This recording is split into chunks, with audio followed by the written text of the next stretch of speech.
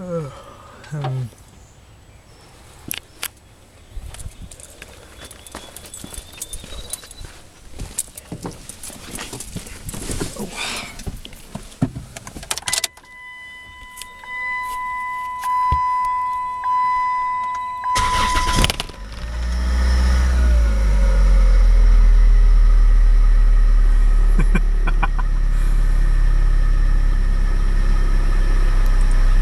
This is a vibration test. The side mount and the front mount that I showed you at the beginning of the video and the rearward mount are all urethane filled. Startup vibration's obviously pretty good, but the during actual driving it kind of smooths out.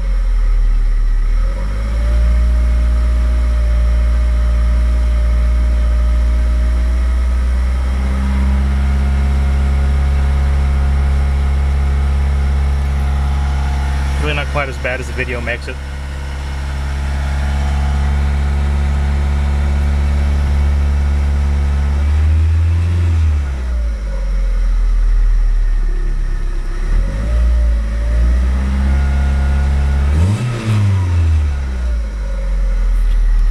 This is also a 2.4 liter with no balance shaft, so that makes it a little more vibration prone.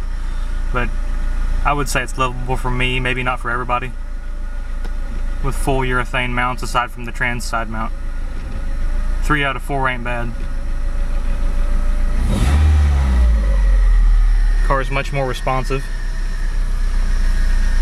The occasional door panel rattle, which you may or may not be able to hear on the video.